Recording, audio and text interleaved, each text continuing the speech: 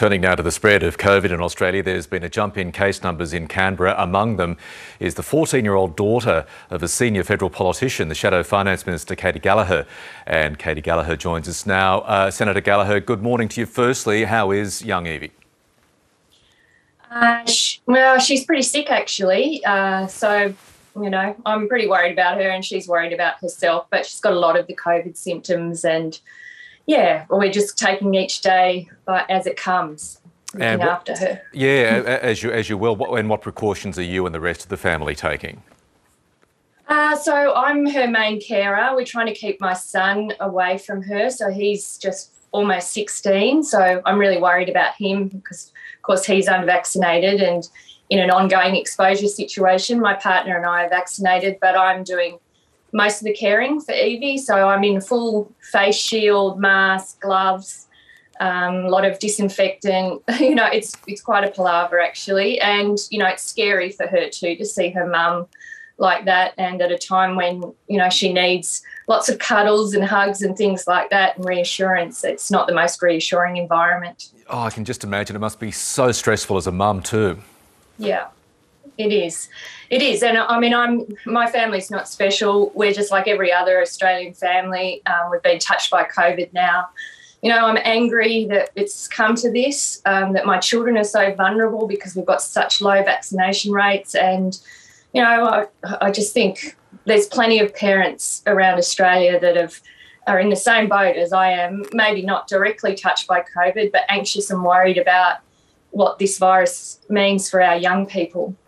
Uh, we keep hearing, and health authorities uh, tell us about Delta and its impact on younger people. Uh, we do know that 14 year olds can't be vaccinated yet, but uh, of course, the fewer people who uh, have the disease, therefore, the more people are vaccinated, means that people like Evie would not be infected.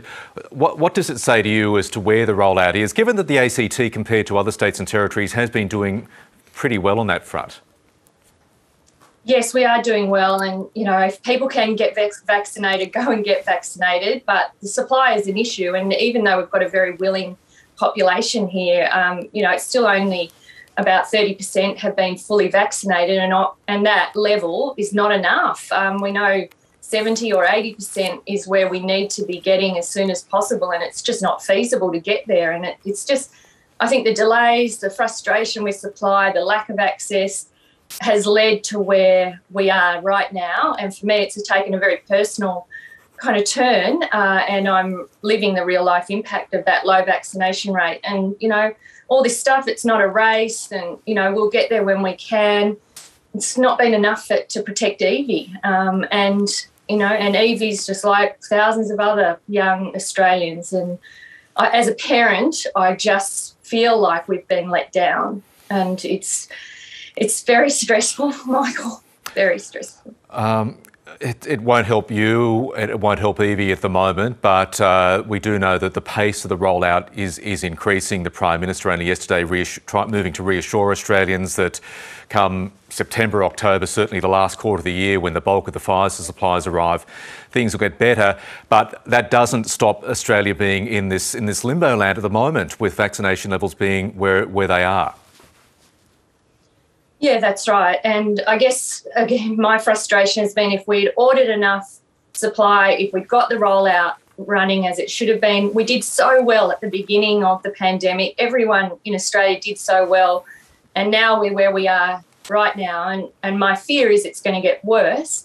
Uh, before it gets better. And I think, again, as a parent, I just feel like young people have been left to be so vulnerable. Um, and that's what we've got to focus on. We've really got to get the rollout, the jabs in the arms, the supply happening, and people need, you know, in government need to take it seriously because my little girl's, you know, lying in bed on her own with terrible symptoms and I can't do anything about it. And my son's in the next room waiting to catch it. Um, and that, I know, as a parent, is it's really difficult. Yeah, listen, politics aside, we, we, can hear a mother's anguish there. Katy Gallagher, thank you so much. It's a, it's a stressful time for you. Thank you so much for taking the time to have a chat to us this morning.